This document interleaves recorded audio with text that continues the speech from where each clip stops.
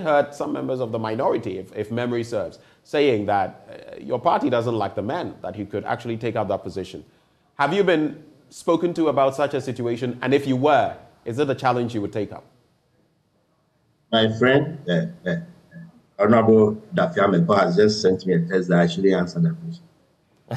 I, I, I, don't know whether he said, uh, Honorable Dafiame, have you sent him a text to that effect?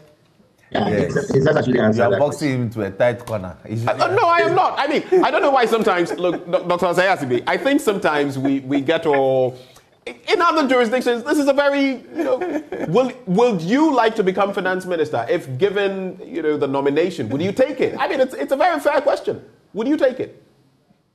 No, I, I would love to serve my country in whatever capacity I'm invited to.